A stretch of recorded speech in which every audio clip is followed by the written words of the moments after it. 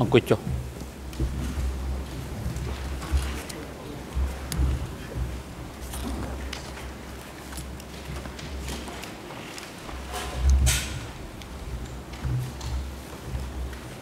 បាទអង្គជំរះប្រកាសបន្តកិច្ចដំណើរការនីតិវិធីសម្ដែងការហើយនៅរសៀលនេះដោយសារមេធាវីប្រឹក្សាស័ក្តិសិទ្ធិមឿនតវ៉ាន់មានទុរៈហើយទៅជំនួសដោយមេធាវីមុំរិទ្ធា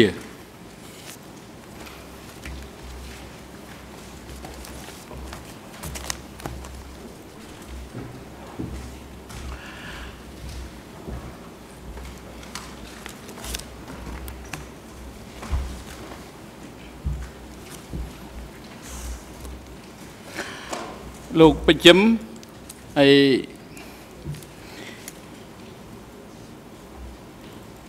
អង្គជំរះអរគុណលោកដែលបានលោកសហការឲ្យឆ្លើយតបនឹងសំណួររបស់ភិក្ខីនិងចក្រមអង្គជំរះក្នុងរយៈពេលកន្លងមកនេះ បានយ៉ាងល្អដោយសារលោកមានការសហការនិងប្រឹងប្រែងខិតខំឆ្លើយតបរាល់សំណួរដែលបានសួរហើយតទៅនេះខ្ញុំមានសំណួរមួយចំនួនតូចទេដើម្បីសួរបញ្ជាក់ ចំពោះលោកកាលពីព្រឹកមិញនេះលោកបានឆ្លើយចុងម៉ោងមុនសម្រាប់គឺលោកបានឆ្លើយថាស្រុកត្រាំកក់បានទទួលនៅតុងក្រហមកិត្តិយសជាស្រុកគំរូក្នុងចំណោម3ស្រុកនៅទូទាំងកម្ពុជាប្រជាធិបតេយ្យ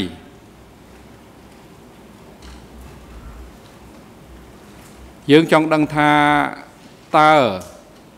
លោកដឹងទេកត្តាអ្វីខ្លះដែលនាំឲ្យស្រុកត្រាំកក់បានទទួលទង់ក្រហមកិត្តិយសជាស្រុកគំរូនៅក្នុងរបបកម្ពុជាប្រជាធិបតេយ្យកាលពីពេលនោះ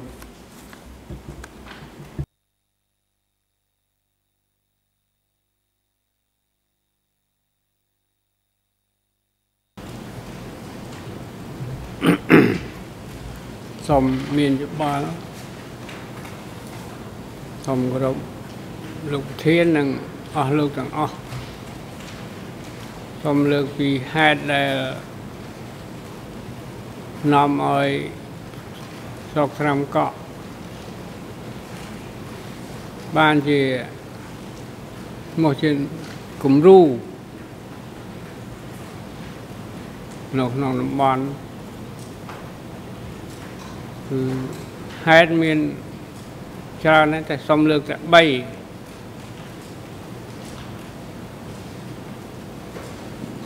មួយមានកម្លាំងល្អ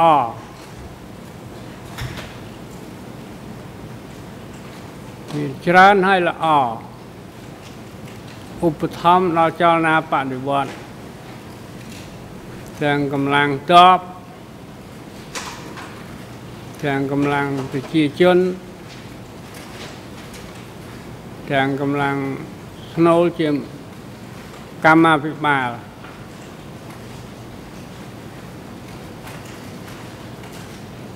ពីប្រជាជនភាគច្រើនសន្ទាប់កណ្ដាលហើយក្រកខាងក្រោមហើយមានលក្ខណៈស្មោះត្រង់ជាមួយនឹងបដិវត្ត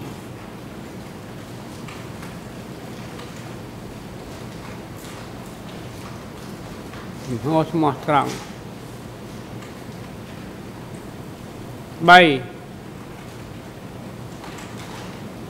កត្តាទី3គឺសេដ្ឋកិច្ច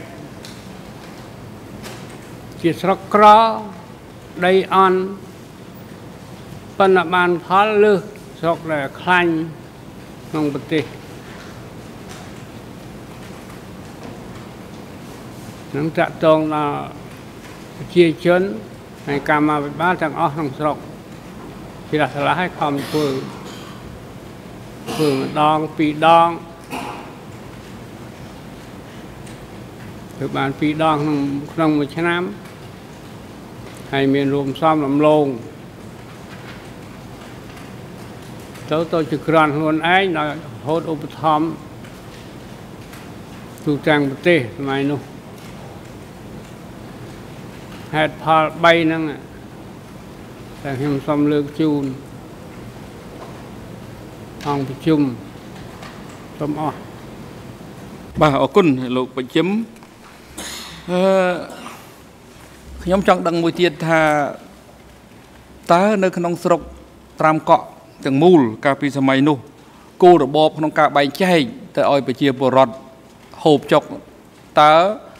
ធ្វើការបែងចែក ស្មើស្មើគ្នាគ្រប់សហគមន៍ទាំងអស់ឬក៏វាអាស្រ័យទៅលើសហគមន៍នីមួយនីមួយបានផលច្រើនឬក៏បានផលតិចអឺទទួលគោលរបបក្នុងការហូបចុកអាស្រ័យទៅលើមូលដ្ឋាននៃឃុំឬក៏សហគមន៍នីមួយនីមួយ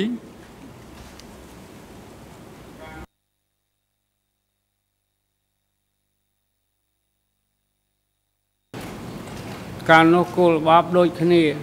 3កំប៉ុងតាមខ្ញុំចាំ 3កំប៉ុងមកកំប៉ុង3នាក់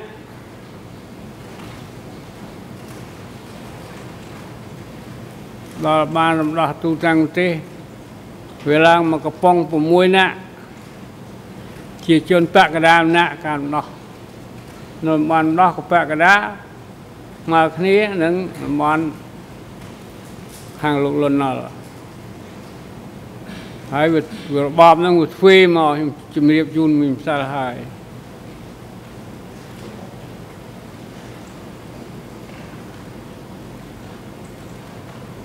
ចុះបន្ទាប់ពីការបង្កើតសហគរណ៍ហើយលោកបានលើកឡើងមិញដោយដោយសារការទទួលទង់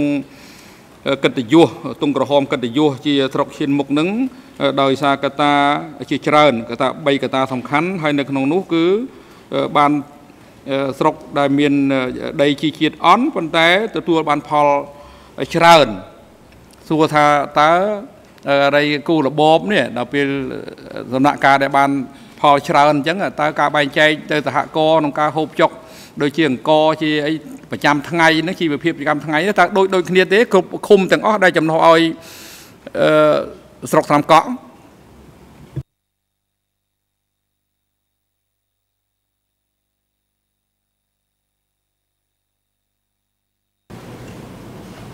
សូមបញ្ជាក់ជូនគឺរបបកាលនោះកំណត់ដូចគ្នាទាំងអស់ដោយឃុំក មានរបបប៉ុណ្ណឹងហើយឲ្យមនុស្សស្រុងមានប្រមាណ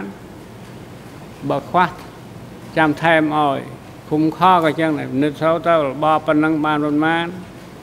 ខ្វះថែមឲ្យគ្រប់ទាំងអស់ទាំងគ្រប់ឃុំធ្វើចឹង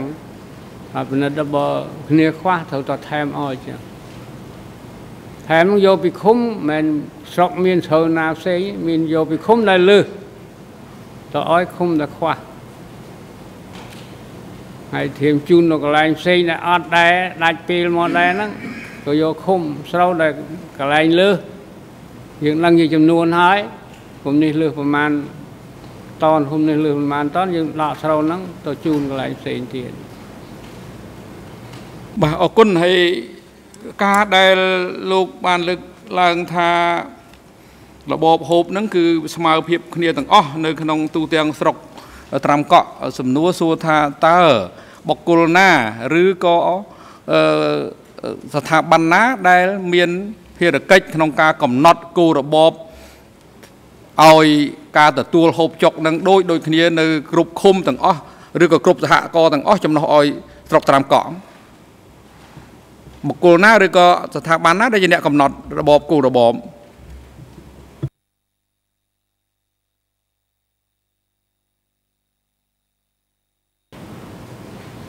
កាលនោះពិគ្រោះគ្នាក្នុងគណៈកម្មការស្រុកហើយស្នើយោបល់តំបន់ថាយើងឲ្យហូបមកមហែលហែលគ្នាទៅបើមិនជួយអញ្ចឹងឃុំណាតិចខ្វះអត់ហើយហើយគាត់ព្រមក៏ពិគ្រោះគ្នាក្នុងគណៈកម្មការស្រុកយល់តាមការណែនាំរបស់តំបន់ក៏ធ្វើអញ្ចឹង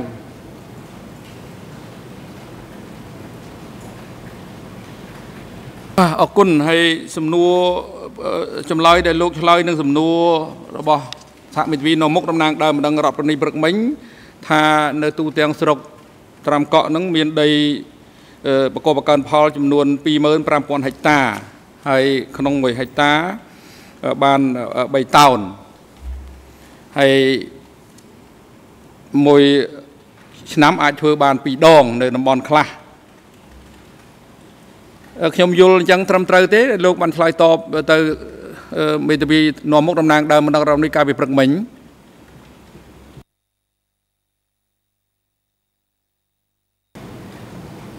បាទត្រឹមត្រូវអ่ะអឺសំណួរបន្តគឺថាអញ្ចេះតាមដែលលោកឆ្លើយតបអំពីគោលរបបនេះ គឺកាលពីដំបូងដើម រដូវច្រូតកាត់គឺរបបហូបបាយហឹមដល់ពេលបន្ទាប់មក គឺអាចបាយលាយដំឡូងហើយបន្ទាប់មកគឺបបរដែលលោកប្រើថាបបរខាប់គួរសមដែរប៉ុន្តែសាក់សីមួយចំនួន បានឆ្លើយថាបញ្ជាក់ថាបបរនោះគឺរាវរាវទេ ហើយហូបមិនគ្រប់គ្រាន់ទេសំណួរសួរថា ក្នុងដី25000ហិកតា ហើយ1ហិកតាបាន3តោនយ៉ាងតិចពីព្រោះបើសិនជាធ្វើ2ដងវាអាចដល់លើ6តោនហើយជាប់ជាស្រុកគំរូទៀតស្រុកទទួលទងកិត្តិយសទៀតសំណួរថាហេតុអ្វីបានជាអឺនៅក្នុងរដូវនៃការហូបចុកមានការវិវត្តប្រែប្រួលពីរបបពេលខ្លះហូបបាយពេលខ្លះហូបបាយលាយដំឡូងហើយពេលខ្លះហ្នឹងគឺហូបបាយហូបបបរ មានហេតុផលយ៉ាងម៉េចទៅ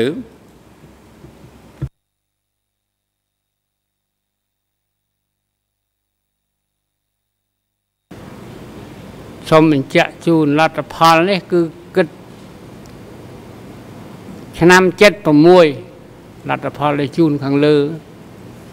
ហើយពីមុនវាមានខ្វះមានលើសមានខ្វះមែននេះដល់76គឺគិតតាមរបបហ្នឹង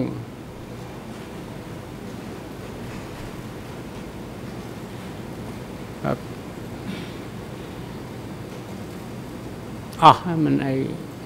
អញ្ចឹងបានន័យថាឆ្នាំ76ហ្នឹងប្រជាពលរដ្ឋនៅក្នុងស្រុកទូទាំងស្រុកអឺត្រាំកក់ហ្នឹងគឺបានទទួលគោលរបបក្នុងការហូបបាយពេញមួយឆ្នាំទល់មួយឆ្នាំឬក៏យ៉ាងម៉េច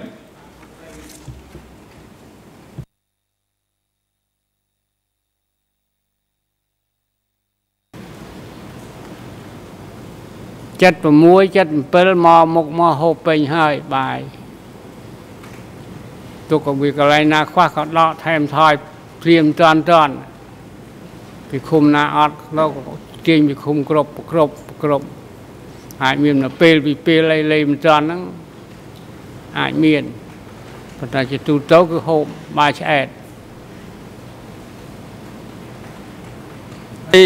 តាមដែលបទពិសោធន៍របស់លោកដែលលោកធ្លាប់ធ្វើជាគណៈកម្មការស្រុក មួយរយៈពេលទាំងជាសមាជិកទាំងជា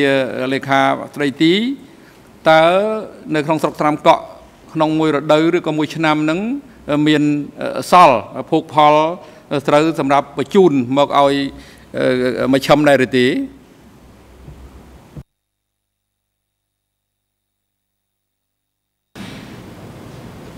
កាលនោះមានប៉ិនខ្ញុំអត់ចាំចំនួនទេ មកខំខ្វះណែសុំឲ្យជាស្រូវប៉ុន្តែច្រើនឲ្យជាអង្គកិនអង្គឲ្យឲ្យចាំងមកឈឹមឲ្យចាំងភុតំបន់ផ្សេងផ្សេងដែលអត់ហត់ទៅរដល់ណាបានឲ្យមកហ្នឹងហ្នឹងតិចច្រើនឲ្យវ៉ាន់ឡានហ្មងមួយឡានពីរឡាន សំឡងមួយឡានពីរឡានទាំងសូវពូទាំងសូវហូបបងប្អូនយកទៅហូបចែកបានប៉ុន្មានតិចប៉ុណ្ណឹងមិនចេះតែជូន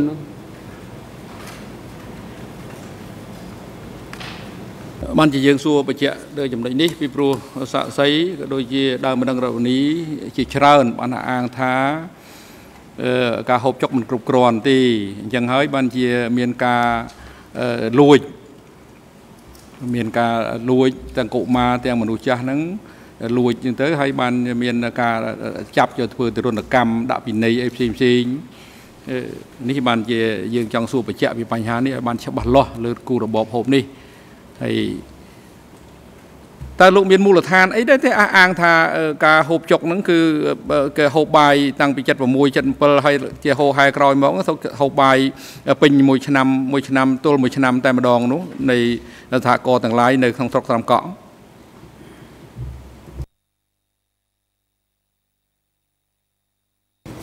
ខ្ញុំនិយាយនេះមិនថាបាយរឹងទេបាយបប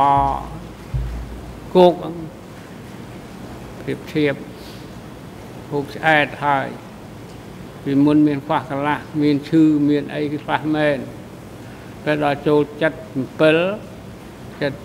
ចិត្ត6បំមូលផលទៅចិត្ត7ហូបស្រូវថ្មីហ្នឹងបានច្រើនបានច្រើនមិនហ៊ានហូបទាំងអស់ច្រើនទេព្រោះកន្លែងផ្សេងក៏អត់ដែរអញ្ចឹងជូនហូបតាមសំរុំ សំរុំហើយមួយខែធ្វើហូបពិសេសម្ដងមួយខែធ្វើហូបពិសេសម្ដងថាមេទិញមហាហូបហើយថាកោទាំងអស់ធ្វើនំហើយមកមូលគ្នាមកកន្លែងហែកនំមកបនកឋិនចឹងនំអីក៏មានណានំចុកបាយសម្លជូរអីគ្រប់មុខហាក់ ខធ្វើមកជូនហូបទាំងអស់ហើយតែគ្រៀនជាងគេបងប្អូនដែរបងប្អូនមកថ្មីមានម្នាក់គាត់ហូបដល់សន្លប់ខ្ញុំភ័យហើយដួលដួលលោកតាមផ្លូវវិលមកកន្លែងវិញអត់ទៅមើលទៅបានជួយលើកដាក់ ថែកោះខ្យល់កោះអីធ្វើសរសៃឲ្យទៅដឹងខ្លួនវិញបាទអរគុណហើយជាបន្តទៅនេះយើងនឹងមានពីរសំណួរទៀតអឺប៉ុណ្ណោះដែលពាក់ព័ន្ធជាមួយនឹងឯកសារទី1គឺឯកសារ E3 លើ401ហើយនឹងឯកសារទី2គឺ E319.1.18 ហើយកន្លែងដែលយើងខ្ញុំមានបំណងសួរលោកគឺមានដាក់ highlight ហើយនឹងដាក់กระดาษពណ៌នេះហើយ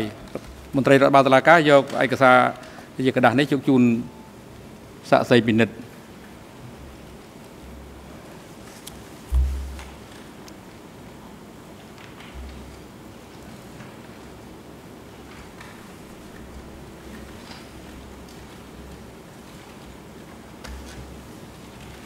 យើងចាប់ដើមសួរនៅឯកសារទី1មុន គឺ E3 លើ401បាទត្រង់គឺជាឯកសារកិច្ចសម្ភាសរបស់សាក់សីគឺរបស់លោក នៅ ត្រង់ភាសាខ្មែរដែលមានលេខ EN 00343478និងភាសាអង់គ្លេសមានលេខ EN 00388128 ខ្ញុំអត់មានភាសាបារាំងទេលោកលោកបញ្ចឹមសូមលោករមើលមើល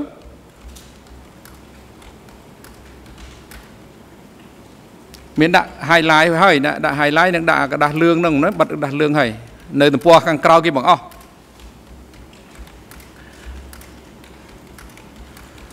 លោកត្រូវបានកត់ត្រានៅចម្លើយដែលបានលោកបាននិយាយថាតាមុកក៏ធ្លាប់ មានការណែនាំនៅក្នុងអង្គប្រជុំផងដែរកុំឲ្យមានការសម្លាប់ផ្ដេសផ្ដាស់លោកលោកមើលតើលោកអាចមើលឃើញចម្លើយរបស់លោកហើយឬនៅ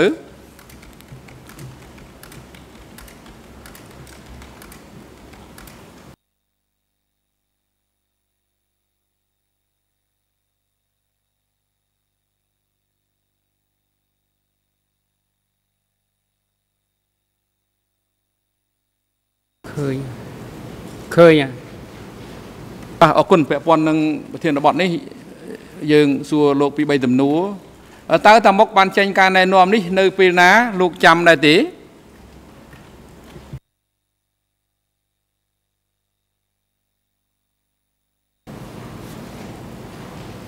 អត់ចាំ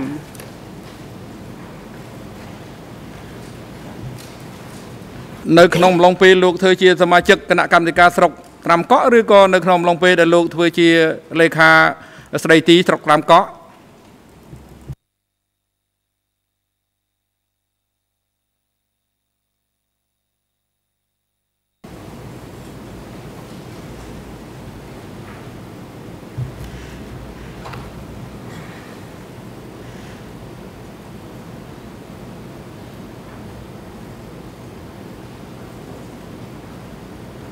គាត់និយាយនេះមិនចាំឆ្នាំទៀតណាសារទៅនិយាយទៅនិយាយហ្នឹងតាំងពីខ្ញុំនៅធ្វើសមាជិកស្រុកនោះកូនគាត់ធ្វើលេខាជួនគាត់ស្ភែកប្រាប់កូនគាត់វាបបគាត់ថាជួបគ្នាថាមកមកមកមូលគ្នាខ្ញុំចាក់ជូនមកមកអស់គ្នាមកអ្នកចេះណាមួយធ្វើនេះពីរធ្វើនោះ បីកំឡាប់គេចឹងហើយហ្នឹងហ្នឹងទៅបាត់ហើយបាទអរគុណហើយតើលោកដឹងទេ ថាហេតុការណ៍តើមានហេតុការណ៍អ្វីខ្លះបានកើតឡើងនៅក្នុងស្រុកស្រាំកក់ទើបមានសេចក្តីណែនាំពីអឺតាមុកដូចនេះ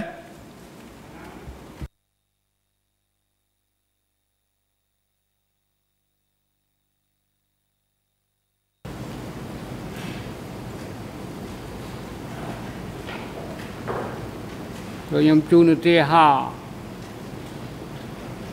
ខយ70ភ្លាមមក72គឺអ្នកណាចូលលោកខ្មាំងបាត់ខ្លួនហើយចេញមកវិញក៏បាត់ដែរកងតបកងឆ្លប់កាលនោះហឺចូលភ្លាមធ្វើភ្លាម មានមេមួយក៏មើលនឹងហឺម៉ៃ họ mới miền mê mà nạc đạp luôn trong sọc trong khét đó rồi mê bật trọp trọp króm mình nâng mình vô đây và mán អឺយើងមិនចង់ដឹងពីហេតុការណ៍មុនឆ្នាំ17មេសា75ទេតើហេតុការណ៍អឺ10ក្រោយ17មេសា75កើតមានហេតុការណ៍នេះដែរឬទេ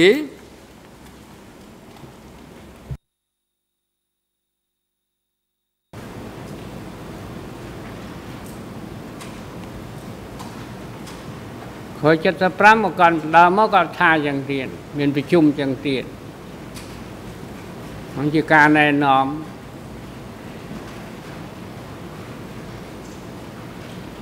ចុះក្រោយ75ហ្នឹងលោកសង្កេតឃើញថាមានការហេតុការអ្វីកើតឡើងទេទើបមានការណែនាំពីសំណាក់តមុកដូច្នេះ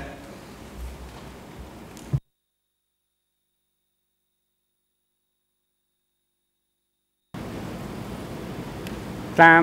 អង្កេតពិនិត្យទៅមាន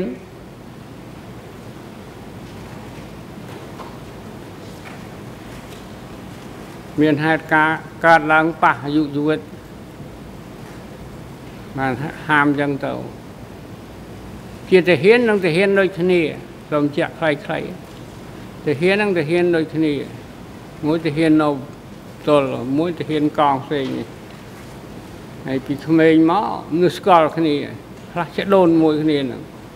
មកដល់ចាប់យកទៅបាត់ទៅហើយខ្ញុំទៅទប់ទល់ណាទៅភ្លើងគេកងត្រោករៀបរយដល់តែមកមកឡើងរឿងហ្នឹងក៏ប្រកាសចឹង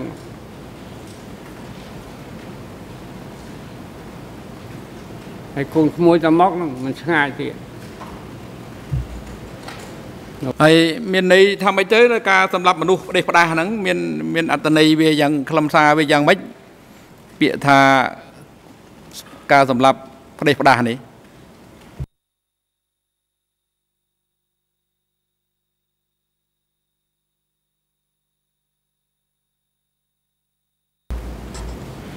តាមមើលក៏នំគ្នាអានោះមកពីមកភូមិនេះចាប់នេះបាត់ទៅយកទៅបាន សុកក៏អត់ហ៊ានអន្តរាគមន៍ហើយខាងញៀវខាងខំឯងក៏អត់មកអត់ហ៊ានខ្ញុំកាន់តែអត់ទៀតបាទអរគុណហើយយើងមានពេល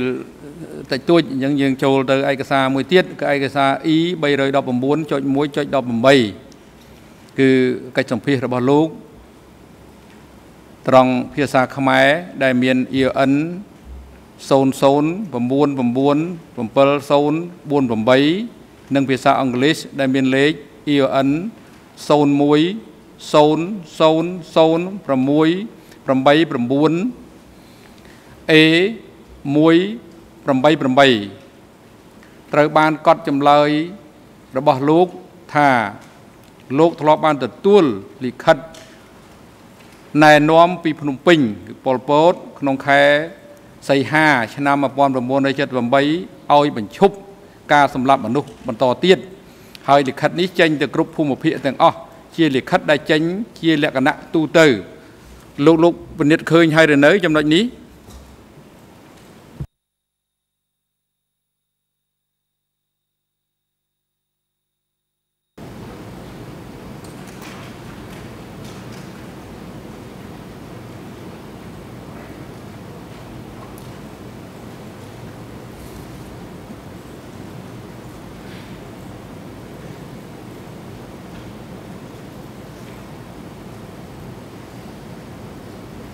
បានឃើញហើយអរគុណនេះជា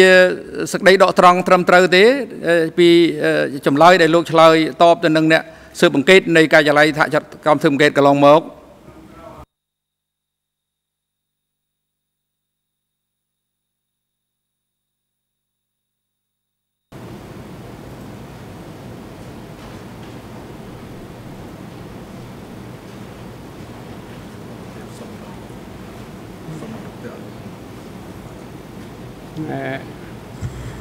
សេចក្តីនេះគឺត្រឹមត្រូវហើយក្នុងខនេះ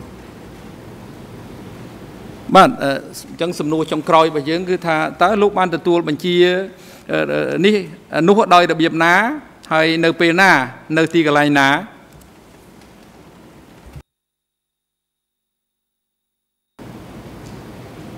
បញ្ជានេះខ្ញុំទទួលពីលោកប៉ុលពតអាណាពកកែពក នៅភូមិភាគកណ្ដាល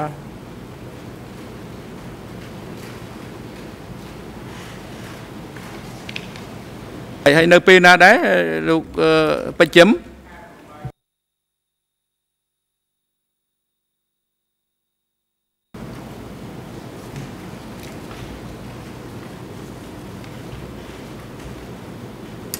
លោកបច្ចឹមឆ្លើយថាតើនៅពេលណាដែរ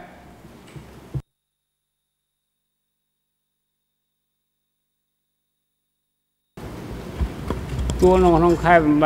ឆ្នាំ78អត់ចាំថ្ងៃទេ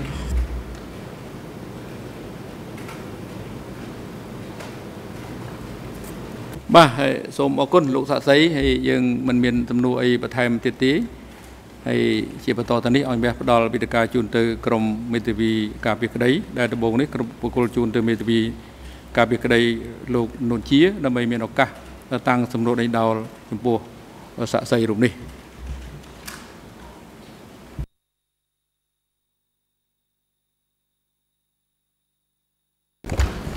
Thank you, Mr. President. មេធាវី Um, គូ Your ពេ Honours, សូមអរគុណ Council. លោក Good ធានសូម afternoon, គោរពលោកលោកស្រីចៅក្រម Mr. Bekchim. Um, អឺ my ជំរាប name សួរ is លោក Victor ពេជ្ជ Kopa. ជុំ I am ខ្ញុំ the ឈ្មោះវិទ័ international កូពេជាមេធាវីអ uh, ន្តរជាតិ co-lawyer for Nguyen Chia, and I ការពារ have some លោកអនុនជា questions ហើយខ្ញុំមាន to សំណួរ ask មួយ to ចំ you. នួនសួរទៅកាន់លោក Um, let me start with following up um, some questions uh, asked by the President uh, just now. And that is a question in relation to uh, the food situation in, in Um, do you know whether there was um, any policy or any ថាមានគោលន implementation យោ of a បាយ policy ណា in the មួយឬក៏ communes ការអនុវត្តគោលនយោបាយ uh, to ណា make a មួយនៅក្នុង distinction ឃុំ uh, in terms of food ration អឺ between នៅក្នុងឃុំដែលវាថាអាចមាន uh, លក្ខណៈ7ខុស people គ្នាដែរឬ and ទេ base people. តាក់ទងទៅនឹងរបបអាហារសម្រាប់ប្រជាជនមូលដ្ឋាននិងសម្រាប់ប្រជាជនថ្មី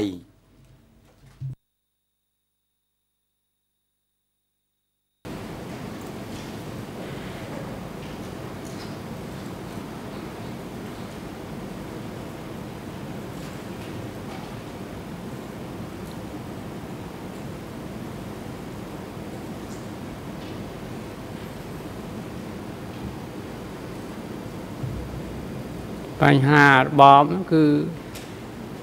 កំណត់ឲ្យរៀបរយដូចដូចគ្នាស្រុកសម្រាប់ឲ្យឃុំឃុំរៀបរយចែកណាក់3អា3ណាក់មកកំប៉ុង3ណាក់កំប៉ុងទាំងអស់ដោយគិតជាចំនួននេះជាគោលការណ៍ធ្វើអញ្ចឹង ប៉ុន្តែដល់ហូបទៅចេះតែលឺខ្វះលឺមិនឆ្អែតទប់ទល់ការមិនឆ្អែតណាស់ធ្វើធ្វើលំបានជួយក៏ថាធ្វើមហាហូបឲ្យហូបម្ដងមួយខែពីរធ្វើម្ដងមួយខែពីរធ្វើម្ដងដូចនេះហើយពិនិត្យនៅឃុំខ្ញុំចុះផ្ទាល់មើលទៅមានលក្ខ ហូបឧមាហកហកគេហូបពីរនាក់ đó ហើយជាជនដោះថ្មី3នាក់ đó អាចមានអញ្ចឹងនៅតែឃើញមានអញ្ចឹងប៉ុន្តែវាយទៅដំទៅមិនទៀតចេះតែលួងលោមចេះតែហាត់ខំមើលឈាមយើងជាតិយើងទៅមួយ មានការណែនាំនេះកាលនោះ ប៉ុន្តែកន្លែងណាដែលយើងមិនដឹងអាហ្នឹងវាការមិនដឹងណាតែចុះមិនសពប៉ុន្តែចាក់ដែងគឺមានអញ្ចឹងមានថាថ្នាក់មូលដ្ឋានហ្នឹងហូបពីកប៉ុកពីកំប៉ុងម្នាក់ពីកំប៉ុងមិនមែនពីកំប៉ុងម្នាក់ម្នាក់ពីកំប៉ុងពីពីរនាក់មកកំប៉ុងហើយនេះដល់3នាក់មកកំប៉ុង នេះបើដាំបាយវាដាំបានហើយហើយនោះដល់បបរអាចមានអញ្ចឹងខ្ញុំត្រង់ហើយជំរាបត្រង់ខ្ញុំចុះពិនិត្យមើលឃើញអញ្ចឹងកែលម្អដោយអប់រំនយោបាយណែនាំផ្ទាល់ផ្ទាល់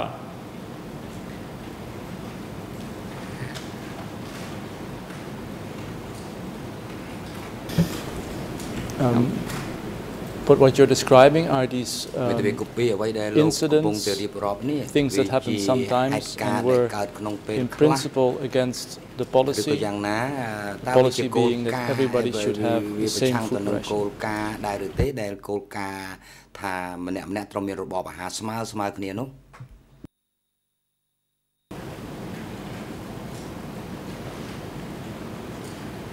វាប្រឆាំងវាមិនដូច ខំប្រឹងឲ្យដូចវាមិនដូច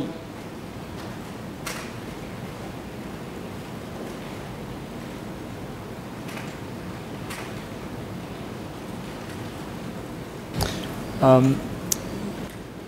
you lived in Tramkok មេ district, ធាវីកូពី um, លោករស់នៅក្នុង I ស្រុក believe, ត្រាំ or កក់ Akio province also before 1970, ខ្ញុំ before you joined the គិតថាតាំង revolution. ពីឆ្នាំ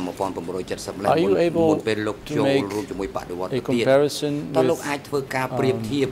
រប្រៀបធៀបរ the វាង food situation ស្ of ថានភាព people ចំណីអាហារ uh, before the establishment of, of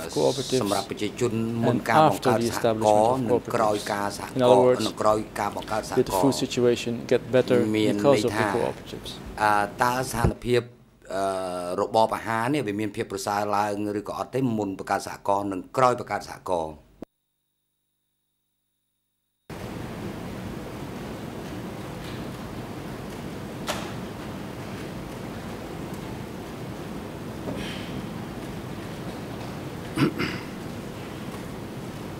អាហារដែល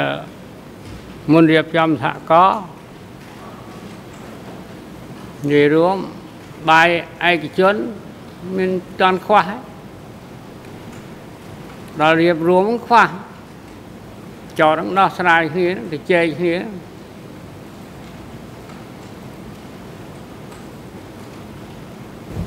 ប៉ុន្តែជែកទៅចេញជំនឹងនៅតែរៀប ចំនៅធ្វើដំណើរការអញ្ចឹងទៅខ្ញុំអស់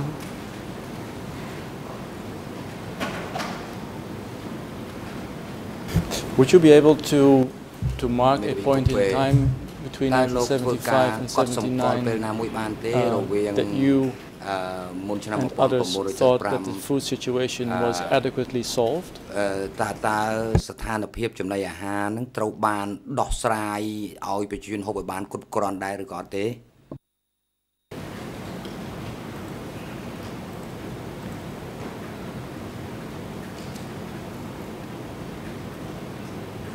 មុន1975គឺដោះស្រាយតាម គ្រួសារពិនិត្យស្រូវសល់យើងមិនយករបស់គេទៅណាពិនិត្យទៅហូបសល់បណ្ដាលមករួមស្រូវហ្នឹងស្រូវហ្នឹងវាមិនបានបានមានកន្លែងខ្វះដល់ខ្ញុំតាមដានអញ្ចឹងវាមានកន្លែងខ្វះហើយមានកន្លែងក្រន់និងកន្លែងលើស បកបោកមកវាខ្វះដែរបន្តទៅខ្វះវិញដើម្បីខ្វះហ្នឹងវាខំរកខំធ្វើឲ្យហូបស្រាលតិចទៅរយៈថា3ខែ3ខែនឹងឆ្លងកាត់3ទៅ6ខែស្រុតទុំហើយនឹងជំរាបថងប៉ុណ្ណឹងហើយអស់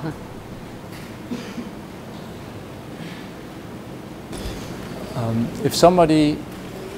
let's say May to be 1975, ឥឡូវឧទាហរណ៍ថា 1976, ឆ្នាំ was caught 1975 stealing, 1976ហើយអ្នកណាម្នាក់ត្រូវ cassave, បាន uh, ចាប់ or other fruits ខ្លួន which ដោយ belong to សារ the collective. តែ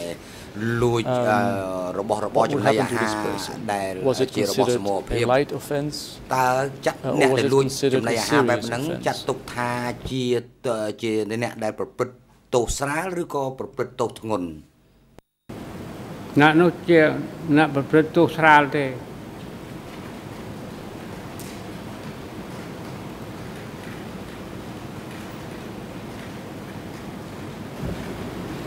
And if somebody had committed មេតា such វី a កូ light ពេហើយជាប្រសិន uh, ណាជាអ្នកណា offense, ម្នាក់ប្រព្រឹត្ត um, what would usually ទោសស្រាល happen អញ្ចឹង to this person? តើមានអ្វីកើតឡើងដល់អ្នកទាំងនេះ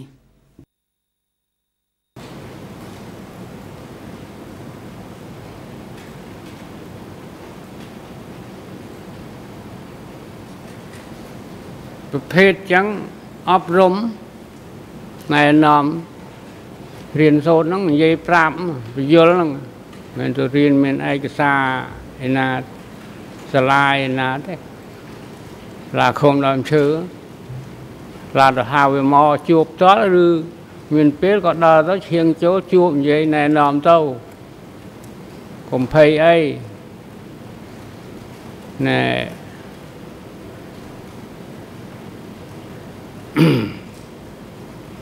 ការខុសហ្នឹងវាអត់ល្អកែលម្អទៅខុយលែងខុសទៀតទៅរួចខ្លួនហើយលែងអីទៅហើយប្រាប់ត្រង់អញ្ចឹងឆាប់បានជំរាបអញ្ចឹងបើថាសម្លុតហើយបលបាត់សូមអស់ Um, would you be able to tell after how many times stealing and then being caught stealing, and somebody would uh, finally be sent somewhere for re-education after how many times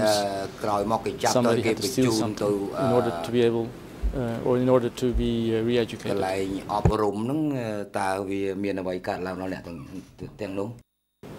តើវាមានអ្វីកើតឡើងដល់អ្នកទាំងទាំងនោះអឺតើតើលួចប្រមាណដង ទៅគេបញ្ជូនទៅអឺមន្ទីរអប់រំកែប្រែ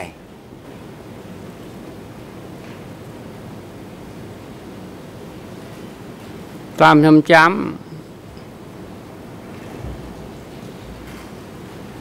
មិនដែលមាន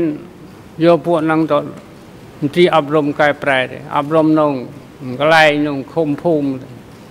អត់ដែលបញ្ជូនចេញទៅក្រៅទេរឿងលួចហ្នឹង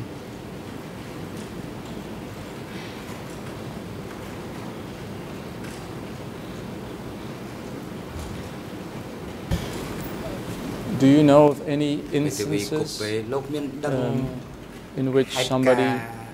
ណាមួយ was executed, ដែលអ្នកណា killed, ម្នាក់ត្រូវបានគេ um, សម្ for stealing លាប់ចោល uh, things like ដោយ cassave or other fruits? សារតែលួចអឺរបស់របរកប៉ិកកប៉ុករួចចំណីអាហារអញ្ចឹងទេខ្ញុំអត់មានបានទេអត់បានជួបសភាពការអញ្ចឹងទេដល់លួចឲ្យសំសម្លាប់ហ្នឹងអត់មាន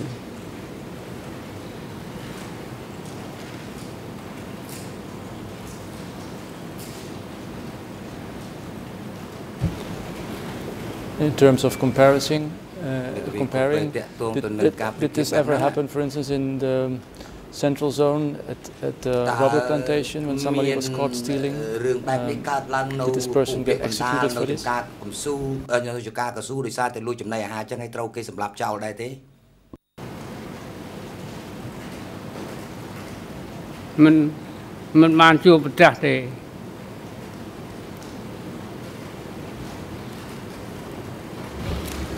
Uh, do you know whether ពី The ពីគូពេ policy តើលោកមាន that you ដឹង described in គោលន relation យោបាយដែល to លោក uh, ទៅ minor រៀបរាប់ពាក់ offences ព័ន្ធពាក់ព័ន្ធទៅនឹងបទ um, ល្មើ would ស be ស្រាល or was the same in uh, in other districts តើ of នៅក្នុង Sector ស្រុក13ដទៃទៀតឬក៏ uh, នៅ and ក្នុង in តំ other បន់ sectors in the 13 southwest zone? អឺវាដូចគ្នាដែរឬក៏អត់ទេបើប្រៀបធៀបទៅនឹងស្រុកឬក៏តំបន់ដទៃទៀតនៅភូមិភាគនិរដីតាមមើលមិនដូចគ្នាទេ ព្រោះការដឹកនាំគ្រប់គ្រងហ្នឹងគឺស្រួលដោះស្រាយកុំឲ្យមានបញ្ហាច្រើនពេលនេះគំនិតតាមតំបន់វាខុសគ្នាបន្តិចបន្តិចវាមិនដូចគ្នាទាំងស្រុងប៉ុន្តែត្រូវទាំងស្រុងថា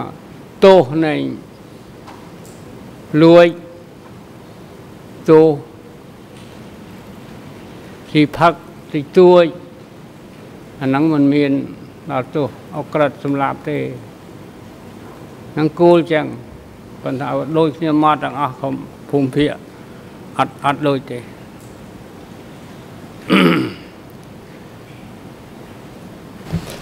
Uh, my my last មេ question ទេវី in គូពេ relation សំណួរ uh, ចុងក្រោ to យ food របស់ខ្ញុំតាក់ទងទៅនឹងចំណីអាហារ would you be able to tell us something about តើលោកអាចជម្រាបជូនអ Uh, ង្គម whether ព្រះថាតើ the the goal of three tons គោលបំណ um, ង uh, ទទួល per បាន hectare rice per hectare ស្រូវ whether 3 that was តោន a ក្នុង realistic 1 goal ហិកតា whether that was in fact អឺ uh, ជាជាជា the ទិស goal ដៅ that could be uh, realistically achieved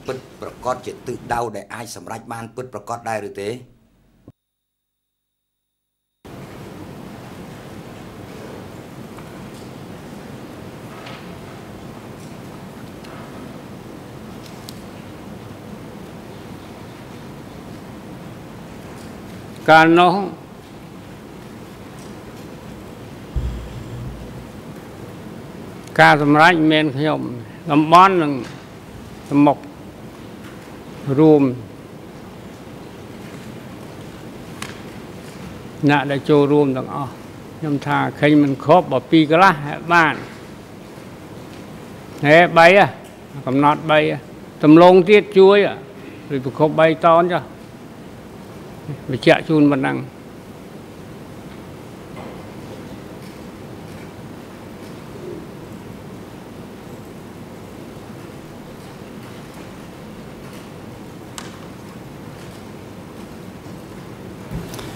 and what would be the មេធាវីគូពេ consequences if ហើយតើវាមាន uh, within a district ផលវិបាកអ្វីដែរនៅក្នុង this ស្រុក goal wasn't achieved តើវា Would មាន there ផល be វិបាកមក serious ធ្លាក់មកដល់ថ្ consequences នាក់ for ស្រុ the កទេ people who were responsible អឺ uh, បើ for this សិនណា or ជា or មិន not សម្រេច not at បាន all ទិន្នផលបៃតងនៅមួយតាទេសម្រាប់អ្នកទទួលខុសត្រូវក្នុងស្រុកហ្នឹង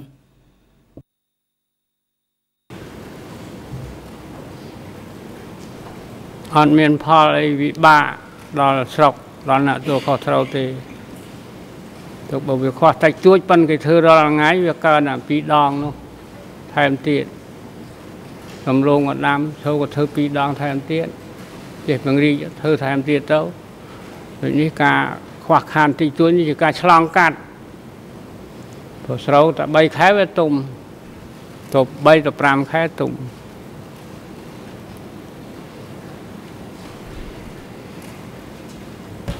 would it then be fair to say អ that ញ្ចឹងតើវាត្រឹម um, ត្រូវទេបើ in your សិនជា district ខ្ញុំ and និយាយ maybe in ថា other នៅក្នុងស្រុក districts របស់លោកឬក៏ក្នុង um, ស្រុកផ្សេងទៀត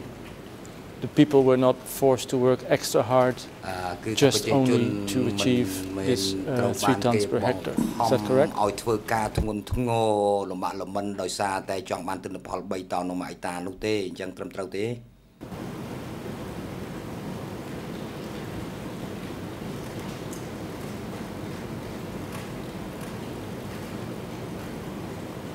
មិនត្រឹមត្រូវទេ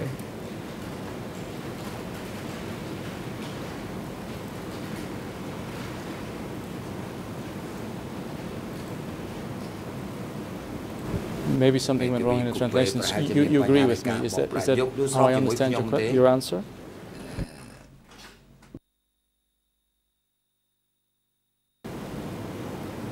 ខ្ញុំស្ដាប់អត់បានមកឃើញស្ដាប់ខ្លងថាអត់បានលោកមេធាវីសូមលោកមេធាវីតាំងសំណួរមិនមែននេះសាច់ជាថ្មីម្ដងទៀតអឺសាកសីមិនយល់សំណួររបស់លោកទេក្តាប់សំណួរលោកសួរមិនបានមិន គាត់មិនអាចឆ្លើយបានឆ្លើយតបបាន Yes, it's because of the double um, Ah. negative. បាទ Um, ដោយសារតែសំណួរនេះគេថាវា Mr. សំណួរ um, គឺអវិជ្ជ Bakchin, do មាន you ដល់ agree ពីរ with ដង me គឺ that ទៅលោកពេជ្រជឹមលោក in យល់ your ស្របជាមួយ district ខ្ញុំទេថានៅក្នុងស្រុករបស់ it លោក didn't happen Cứ- that people were forced to work extra hard អឺ just ប្រជាជនមិន uh, ត្រូវបាន to គេបង្ achieve ខំ this ឲ្យធ្វើ uh, ការ three tons per ធ្ងន់ hectare? ធ្ងរដើម្បីគោលបំណងសម្រេចបាន3តោនក្នុងមួយឯកតាទេតែអញ្ចឹងឬក៏អត់ទេ យល់ព្រម Um, now I would like to move to another topic, ឥឡូវនេះ and ខ្ញុំ that សូម is ចូលទៅប្រធាន education. បទមួយទៀត Uh, I គឺនិយាយ understand អំ that ពី you ការអ yourself, ប់រំកែប្រែ before ដែល you ថា joined ខ្លួន the លោក Maki, តលមុននឹងចូល uh, ទៅ had ក្នុង been ព្រៃ a ម៉ាក់ teacher ទី in ម៉ាក់ទៀត Takeo គឺថាលោក province. ធ្លាប់ Is ធ្វើ that ជាគ្រូ correct? បង្រៀននៅក្នុងខេត្តតាកែវតើត្រឹមត្រូវឬក៏អត់ទេ ត្រូវ Would you be able to tell us how long you តើលោក have អាចជម្រាប worked ជូនអង្គជំនុំជម្រះបានទេតើតើលោក um, ធ្វើការ as a teacher? ជាគ្រូធ្វើជាគ្រូបង្រៀននឹងរយៈពេលប្រហែលឆ្នាំដែរ79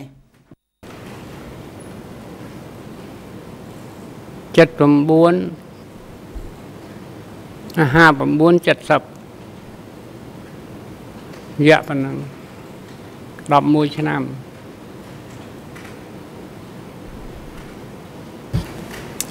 Um, what can you tell us about តើ um, លោកអាចជម្រាបជូនអង្គជំនុំ the ជម្រះ goals ofអំពី the CPK and the goals គោល of បំណងរបស់ Democratic បកកុម្មុយ Kampuchea នី in terms of កម្ពុជា education? អឺ Um, តើ what តង was Democratic គោលន Kampuchea យោបាយ set រ to របស់បកកុម្មុយ achieve នីកម្ in ពុជានិង terms កម្ of ពុជាប្រជាធិប education? តេយ្យ Could ពាក់ you ព័ន្ធទៅនឹងការចង់សម្រេច tell បាន us in general នូវ terms ការអ um, ប់រំ what the goals were? សូមជម្រាបមើលថាតើគោលបំណងរបស់កបកកុម្មុយនីកម្ពុជាធ្វើអ្វីដែរពាក់ព័ន្ធទៅនឹងវិស័យអប់រំ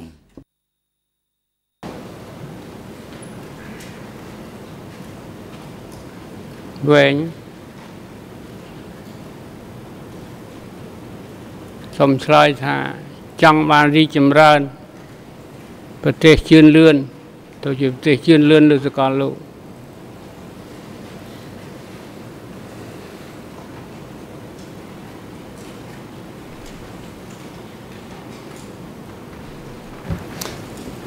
I'll be more concrete. Was it បើខ្ញុំសួរឲ្យជាក់ស្ដែង The តែម្ដង intention within your តើ district វាជា to, គោលបំណងនៅក្នុង after ស្រុ the ករបស់ liberation, លោកឬ uh, to ក្រោយ have schools ការ to រំដោះ educate children, អឺ to គឺថា have មានបំណងចង់បង្កើត primary សាលារៀន schools, ឲ្យ secondary ក្មេងទទួល schools, បាន etc. ការអប់រំតាំងពីសាលាបឋមសិក្សា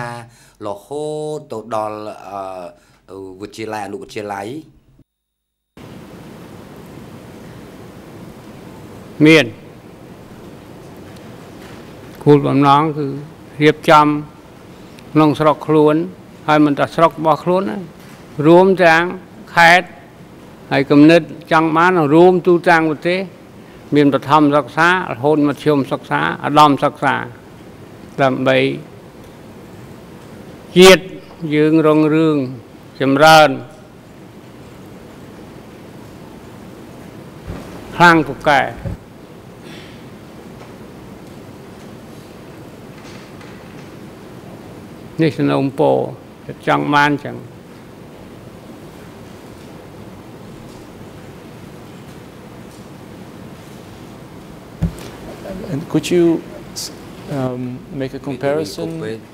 តើលោកអាចធ្វើការ um, ប្រៀបធៀប as to how the education system worked in ថា uh, ប្រព័ន្ធអប់រំ 1975, នៅក្នុងឆ្នាំ 1976, 1977 in Tramkok 1975 district, 76 uh, as 77 opposed នៅក្នុង to ស្រុកត្រាំកក់ um, how the education system was before the Civil War? អឺហើយនឹងប្រៀបធៀបទៅនឹងប្រព័ន្ធអប់រំមុនសង្គ្រាមស៊ីវិលតើវាមានលក្ខណៈខុសគ្នាយ៉ាងម៉េច ប្រព័ន្ធអប់រំនៅស្រុកធម្មកក់ 71 72ហូតដល់75ប្រៀបធៀបទៅពីមុនពីមុនរីកចម្រើនដុល្លារពេញទាំងអស់ប៉ុន្តែក្រោយហ្នឹងអត់មានទៅទេប៉ុន្តែក្នុងសង្គ្រាមធ្វើមិនកើតចឹងជ្រើសគ្រូម្នាក់ម្នាក់បង្រៀនក្មេងតូចតូចហ្នឹងថ្នាក់ទីដំបងគ្រប់ភូមិមាន មានប៉ុណ្ណឹងចោះកុំឲ្យអត់ ថ្ងៃក្រោយរៀបទៅទៀតចូលលើសភាពការនិងពេលវេលា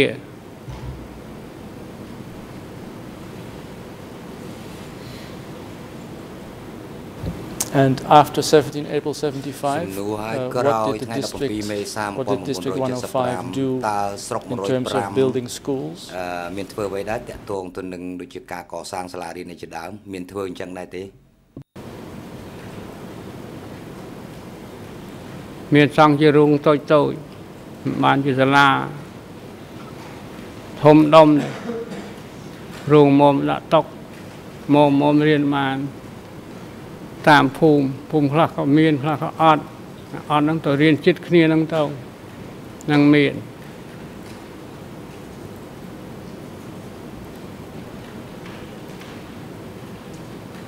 Was it a priority uh, in your So- district to build schools? តើការសាងសង់សាលារៀននឹងវាជាអតិភិបឬក៏អត់ទេនៅក្នុងស្រុករបស់លោក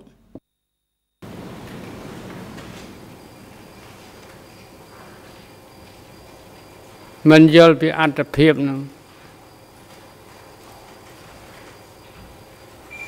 សង្ឃសាលារៀនជាអត្តភាពមិនយល់ពីហ្នឹង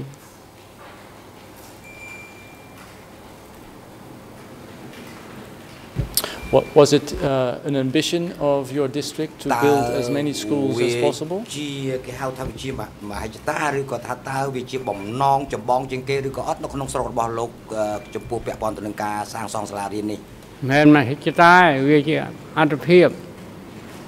ជាបំណងល្អរបស់យុវជនអស់ឪពុកម៉ែបងប្អូនទាំងអស់ហើយជារបស់ជាតិទៀត វាមានពលឺជាតិដើរទៅរួចអត់សាលាហ្នឹងដើរល្ងឹត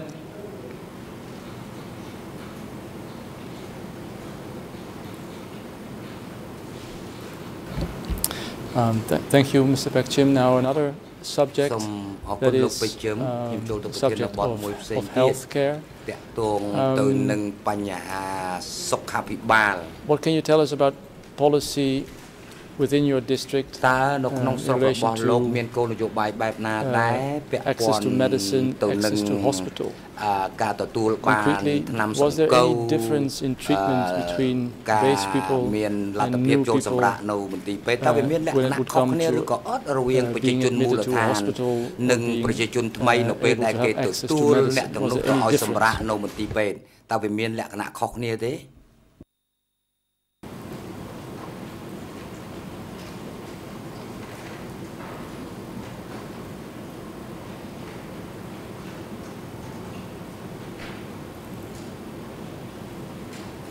តាមទស្សនៈគឺថាដូចគ្នាចែកដូចគ្នា បានដូចគ្នាប៉ុន្តែការវិភាគថាទុកមិនកំណោចទុកមិនកំណោចសុទ្ធខុសខ្លះហ្នឹងសូមជម្រាបប៉ុណ្ណឹងបោះតិច តាមពេទ្យក្រណាស់សូមជម្រាបអត់ធ្វើចេះធ្វើកើតនេះនោះឲ្យមកយកជំនួយបរទេសអត់យកសូមជំនួយបរទេសអត់ឈឺមួយហើយយកអង្គបរទេសទៀតមហាលូតផ្លោះមានមហាធ្លាក់កលុកលូតណាមហាធ្លាក់ជ្រុះនឹងសូមជម្រាបអញ្ចឹង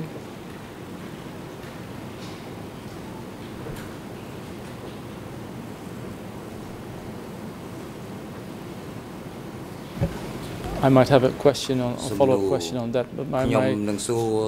first question was do you know um, if a new person would get sick,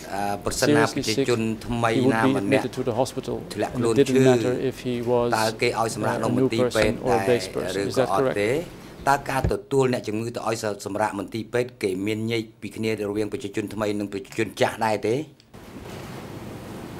មិនមានទេមានគេអន់អន់ប្រហែលប្រហែលគ្នានឹងដេក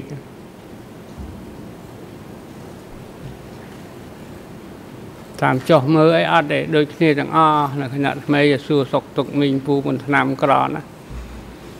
ណែនាំឲ្យអោយបាយឲ្យបបយហូបឲ្យឆ្អែត គឺចឹងហើយក៏ថែមឲ្យអង្គតាក់តងយកពីឃុំឃុំចិត្តហ្នឹងឃុំណានៅជាប់ពេទ្យហ្នឹងទាយកមកទៅយកមកសុកសម្រាប់ហើយខំគិតគូនបានការឆក់ល្វែងបើជៀសមិនផុត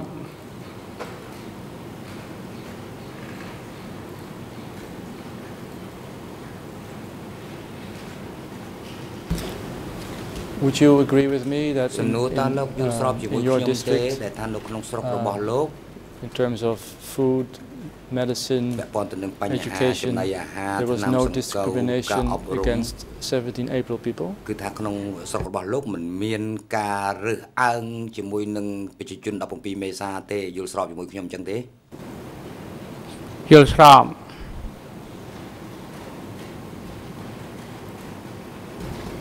Um, thank you, uh, Mr. Pekchim. សូមអរគុណលោកបច្ចុប្បន្ន I would like to turn to uh, ខ្ញុំសូ another មចូល topic, ទៅប្រធាន if បទ that's all មួយ right with you. ផ្សេងទៀត Um, do you know or do you remember តើលោកដឹងទេឬ Whether ក៏លោកចាំទេ there was a uh, big meeting ថាមាន in May អង្គប្រជុំអឺ 1975 មាន in ម Phnom ហា Penh, មីតិងនៅក្នុងថា where all ខែឧសភា uh, ឆ្នាំ cadres, 75 both ដែល military and civilian, កម្មាភិបាលទាំងអស់ were ទាំងស៊ីវិល invited, ទាំងកងទ័ពគឺថា uh, ត្រូវ to បាន discuss, គេហៅឲ្យ uh, the ម way កចូល forward. នៅក្នុងមហាមីតិង uh, a big meeting between, I believe, 20 and 24 May គឺប្រជុំនៅថ្ងៃទី1975 in Phnom Penh. ចន្លោះពី20ទៅ24ឧសភា1975នៅភ្នំពេញអឺលោកមានជ្រាបរឿងនេះទេ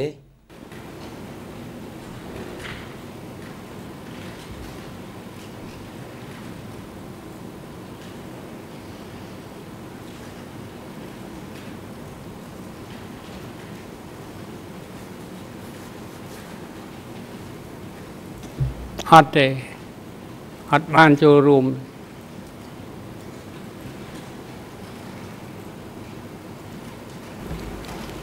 Um, it, was a, it was a big meeting where apparently hundreds, maybe even almost thousand cadres uh, were collected together, convened together um, to discuss the way forward. Do you know maybe whether um, your fellow district តើលោក committee មាន member ដឹងថា Kom កម្មាភិបាលនៅស្រុក uh, ជាមួយ had លោក gone នោះគឺខំ to that meeting in May មានបានមកចូលរួមប្រ 1975? ជុំនៅក្នុងមហាមីតិងអឺទាំងខែឧសភាឆ្នាំ1975ដែរទេដឹងថាគាត់មក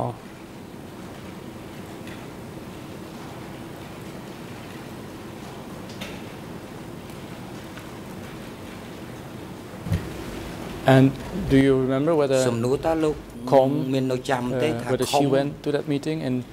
if yes អឺបាន Do you មកចូល remember រួម when ប្រ she ជុំ came back? ទេហើយបើបានមកចូលរួមប្រជុំមែន what she reported អឺ to នៅ you ពេល and the ដែល other members of the district អឺ committee គាត់ត្រឡប់ទៅវិញតើគាត់រាយការណ៍អឺជូនស្រុកឬគណៈកម្មការស្រុកដែរឬទេ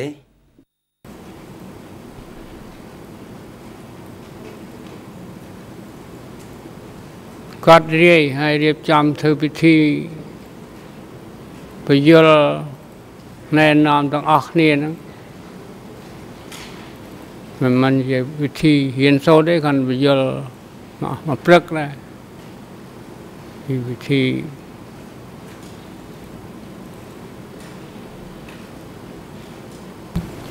I realize it's a long time សំណួ ago រ Mr. ខ្ញុំគិត Pekchim, ថា but វាកើត do ឡើងយូរ you ហើយលោកពេជ្រ remember, ជឹមតើលោក um, ចាំដែរឬទេ which news or ថា which តើ reports she brought with her របាយការណ៍អ្វីដែល uh, គាត់យក after ត្រ this ឡប់មក meeting វិញ in May បន្ទាប់ពីការប្រជុំនៅ What did ខែ she ឧស tell ភា you and ឆ្នាំ the others? 1975តើគាត់បានរាយការណ៍ទៅលោកហើយនិងអ្នកផ្សេងទៀតដោយម្ដេចខ្លះខ្ញុំអត់ចាំទេយូរពេកភ្លេច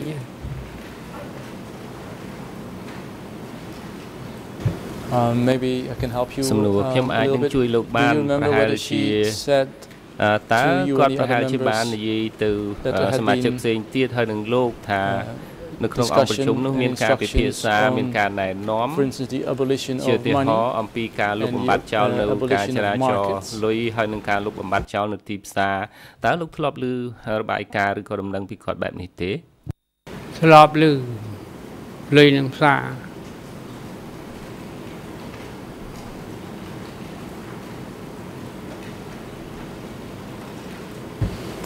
What what do you remember សំណួរតើលោកចាំបានអ្វីខ្លះដែលថាគាត់រាយការណ៍អំពីបញ្ហានេះទៅលោកឬក៏គណៈស្រុកនោះ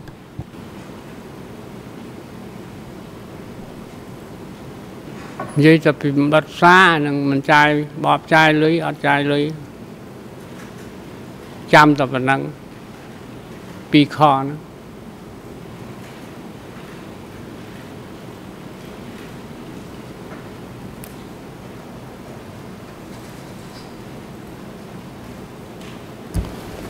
Do you recall whether she said anything about លោកចាំដែរឬទេថាតើគាត់និយាយបញ្ហាមួយចំនួនអំពីការផ្សឹក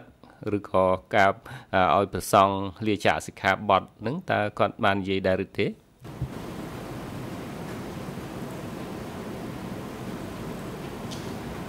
គាត់និយាយប៉ុន្តែកាលហ្នឹងហើយក៏មុនហ្នឹងខ្ញុំអត់ចាំប៉ុន្មាននិយាយនិយាយឲ្យអនុវត្ត គាត់នឹងនាំធ្វើតែម្ដង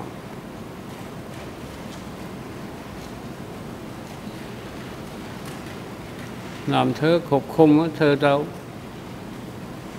ជាមួយគ្នានឹងចែកគ្នាធ្វើតាមផ្នែក Do you remember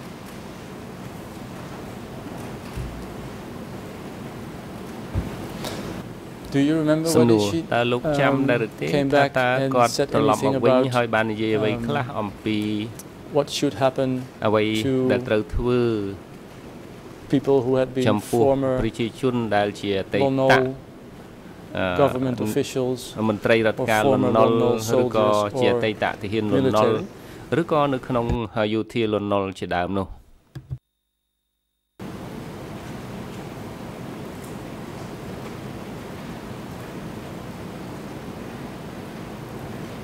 មិនចាំទេ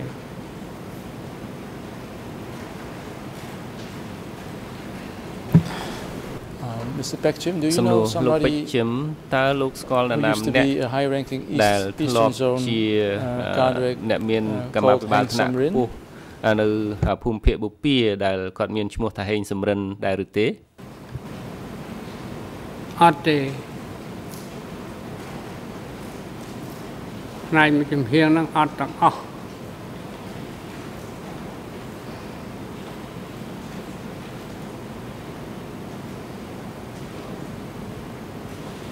If I just ask you do you know សំណួរខ្ញុំគ្រាន់តែសួរលោកថាតើលោកដឹងថាលោកហេងសំរិន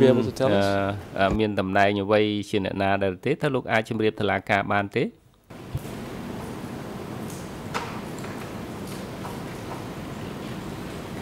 អត់ដឹង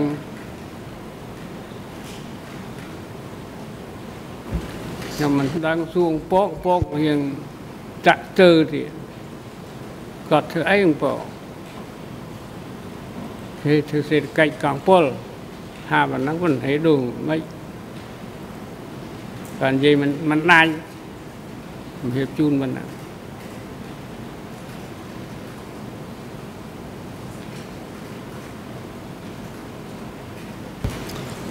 um សំណួរ Do you remember តើលោកនៅចាំឬទេ Maybe if I can try to refresh your memory ព្យាយាមរំលឹកការចងចាំរបស់លោកថាតើខំនៅពេលដែលគាត់ត្រឡប់មកវិញ said something to the effect that people who had belonged to the former Lono regime should be ស្ថិតនៅក្នុងអតីតរបបរណុលគាត់ថាអាចដាក់នៅក្រៅក្របខ័ណ្ឌគេត្រូវបំបែកអ្នកទាំងនោះជាជាងសម្លាប់អ្នកទាំងនោះចោលតើធ្លាប់ឮបែបនេះដែរទេសាកសែងមកតនឆ្លើយតបសូមអញ្ជើញសាប្រញ្ញារងអន្តរជាតិដំណើរសហប្រញ្ញាអរគុណលោកប្រធានមេធាវីការពារក្តីគឺសួរសំណួរនាំមុខដល់សាកសីខ្ញុំមាន មិនមានជំទាស់ទេប្រសិនបើគាត់ចង់ប្រើការសិក្សាស្រាវជ្រាវរបស់ Ben Cannon ហើយសួរសំណួរសរសេរដើម្បីរំលឹកការចងចាំដែលតាក់ទងតែអ្វីដែលគាត់បានធ្វើពីម្សិលមិញទាំងមនុស្សទី3ទី4ដែលថាគោលនយោបាយណែនាំគឺឲ្យកំទេចហើយហើយផ្ទុយពីនឹងទៅវិញគឺថាបើគាត់ចង់ប្រើផតតានោះគឺអាចប្រើបានប៉ុន្តែមេធាវីមិនក៏បីសួរនាំមុខសាក់សីដូចដែលគាត់បានធ្វើមិញមិញនេះទេបាទ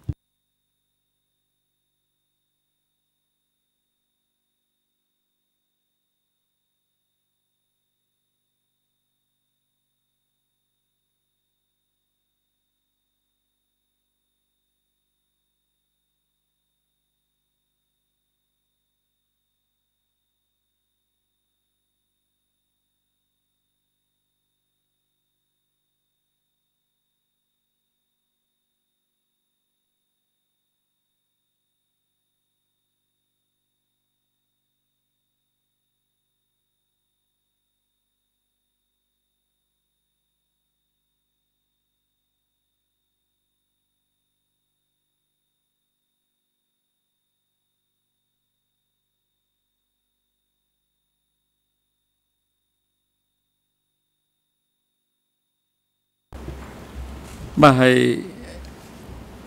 អង្គជំរះឯកភាពតាមការកត់សម្គាល់របស់សាប្រញ្ញារងអន្តរជាតិគឺពិតជាជាភេទចំនួននៅមុខហើយមានចំនួនច្រើនផងនៅក្នុងការតាំងសំណួរនេះសាក់សៃមិនឆ្លើយតបនឹងសំណួរដែលសួរនាំមុខអមាញ់មាននេះទេសម្ដេចលោកមេធាវីបច្ចុប្បន្នកូពេសូមលោករៀបចំនៅសំណួរសាជាថ្មីម្ដងទៀតជៀសវាងក្នុងការស្តាំងសំណួរប្រភេទបែបសំណួរនាំមុខ ដែលជាទំនួលហាមឃាត់នៅក្នុងនីតិវិធីតុលាការ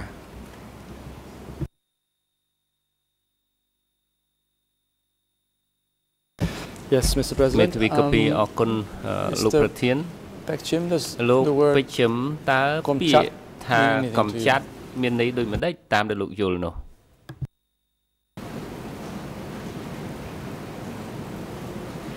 កំចាត់គឺ យកចេញធ្វើឲ្យខ្ចាត់ចាយគឺថាដកចេញគេប្រើនៅក្នុងមេគាទេគោលមហោទស្សនៈកំចាត់តែអារម្មណ៍លមោបលោភលន់បនស័កកសាងគោលមហោកសិករអត់បនស័ក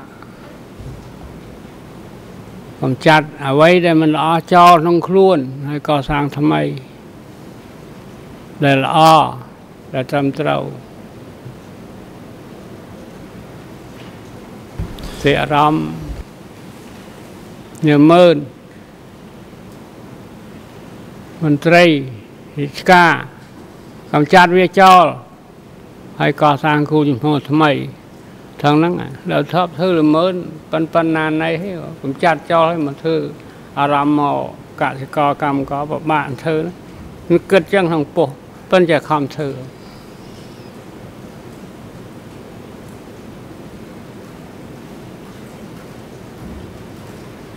ខំធ្វើទៅវាបានសម្រេចមកកំណែកមួយចំណែកអីទៅធ្វើទៅវាវាជាតកើតតែដាំវាជាដោះ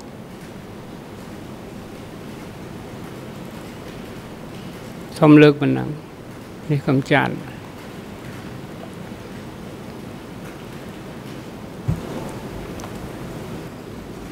The explanation that you just gave សំណួរសេចក្តីបញ្យល់ដែលលោកបញ្យល់អំពីពាក្យថាកំចាត់នោះ Was that something was that a policy តើវាជាអ្វីដែលស្ថិតនៅក្នុងគោលនយោបាយ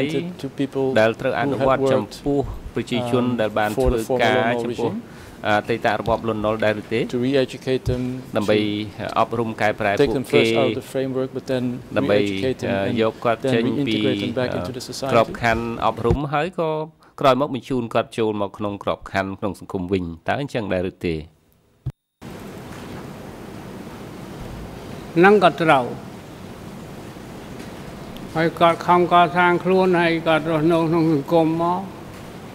គាត់គាត់កំចាត់អ្វីដែល ធាតមិនល្អក្នុងខ្លួនចេញចោលគាត់មកវិញវាល្អវាមិនមកផ្ភ្លាមល្អភ្លាមវានៅទៅដើបដើបដើយូរមួយឆ្នាំពីរឆ្នាំទៅមកល្អមែនតើនឹងន័យចឹង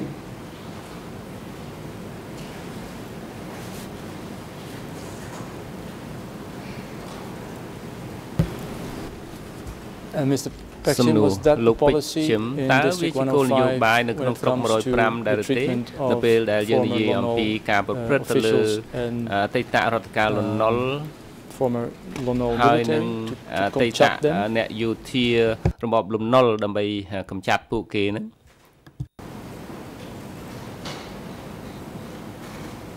អាហ្នឹងពាក្យហ្នឹងថាត្រូវទាំងអស់ត្រូវទាំងអស់ ព្រោះភាសានិងពាក្យភាសា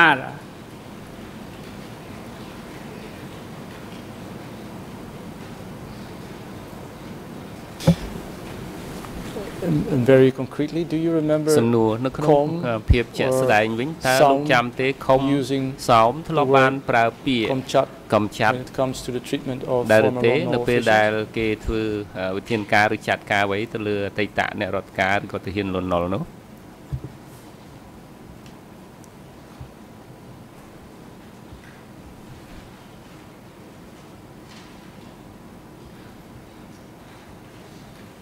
តាមធ្លាប់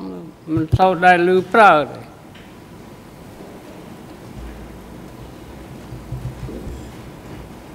កំចាត់នេះកំចាត់នោះចាត់បបទៅហ៊ានលន់នល់អីមិនដែលប្រើបើរៀនសូត្រហើយលើកដូចខ្ញុំលើកហ្នឹងគេលើកមែនកំចាត់បកគលអន្តរាយ កម្ចាត់អ្វីដែលមិនមិនមិនចំណេញបើគេថាទាហានរដ្ឋបាលលន់ណល់ក៏ថាដែលមិនកំចាត់ទាំងស្រុងដែលអន្តរាយនៅមានដែលចុះបើគេអត់អត់អន្តរាយគេល្អប៉ះគេមិនកំចាត់គេមិន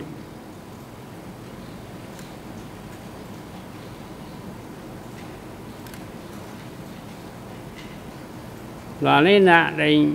យល់សើកម្មបាលទៀបទៀមខណ្ឌនារីភេទគាត់វាយរួមទាំងអស់តែយើងយល់ចូលចាស់យើងដឹងយើងយល់ហើយបានដឹងវិញអត់គាត់មកមកទាំងអស់អញ្ចឹងអារឿងសិក្ខេមកុលមន់មួយ ចាប់ចង់ចុះឡើងគឺពួកហ្នឹងហើយមានប្រុសប្រុសដែលងាយធ្វើចឹងមិនងាយទេចឹងមិនមើងងាយនារីភេទទេបាទនេះបបធតិចហើយអស់លោកឃើញចឹងបបធតិចជឿណា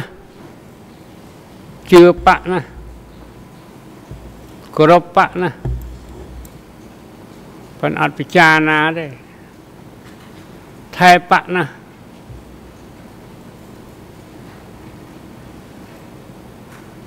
មកឃើញទៅដល់បាយឆ្អិនលោមន់ក៏កាប់ដែរគឺស្មោះត្រង់អញ្ចឹងប៉ុន្តែហេតុផលអីច្រើនទៅទៀតដើម្បីការពារបៈឲ្យរីចម្រើនហ្នឹងនឹងប្រៀបធៀបដូចជាបៈណែហូបបាយឲ្យអឺសម្រាប់បន្តិច ឃើញបមហាលក់ដល់ហុយម៉ូតូមកលើកដល់មកកប់ម៉ាំងម៉ាំងងប់បឆ្លាញ់ពេកអត់បញ្ញាខ្ញុំលើកប្រមាណហ្នឹងគឺអត់ទៅមានបញ្ញាហើយណាធ្វើឲ្យមានបញ្ញាអស់ហើយចិត្តសភ្លាមធ្វើភ្លាមមកឈូទុកជន់មកតនប់ បងបងលឺលឺនៅលឺនោះមានមនុស្សខមណា